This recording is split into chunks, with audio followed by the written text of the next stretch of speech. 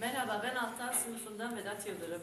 Benim robotum gözündeki gözlük sayesinde çevredeki zararlı maddeleri ve çöpleri toplayıp onları temiz ve kullanılabilir kalem, silgi, uç, kırmızı kalem, tıraş, kitap, defter gibi e, eğitime yararlı olan malzemeler üretir. İhtiyacı olan kişiler için hediye paketine sarıp onlar, onlara hediye eder ve bu sayede hem kişiyi mutlu eder hem de eğitim öğretimde katkıda bulunur. Teşekkür ederim.